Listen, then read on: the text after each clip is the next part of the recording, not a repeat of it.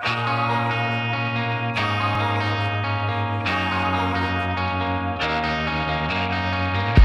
we fall into this place, always going at each other? We just needed an escape from the stress that we've been under.